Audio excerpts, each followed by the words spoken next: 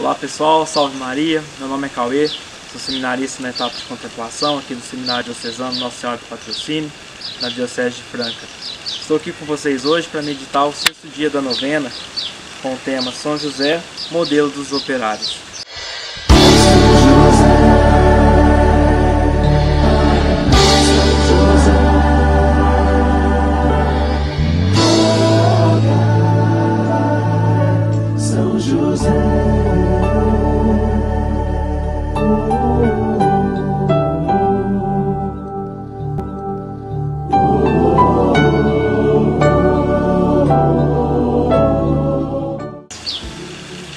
Humilde São José, que vivendo em pobreza, dignificastes a vossa profissão, pelo trabalho constantes, e vos sentistes felizes em servir Jesus e Maria, com o fruto dos vossos suores, alcançai-me amor ao trabalho que me foi imposto como dever de Estado, procurando cumprir nisso sempre a vontade de Deus.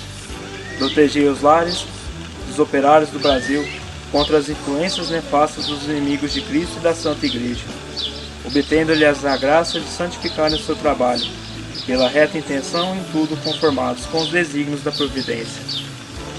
Amém. Rogai por nós, São José, modelo dos operários, para que sejamos dignos das promessas de Cristo. Oremos. Glorioso São José, que fostes exaltado pelo Pai Eterno, obedecido pelo Verbo encarnado, favorecido pelo Espírito Santo e amado pela Virgem Maria Louvo e bendigo a Santíssima Trindade pelos privilégios e méritos com quem vos enriqueceu. Sois poderosíssimo e jamais se ouviu dizer que alguém que tenha recorrido a vós e foste por, foste por vós desamparado.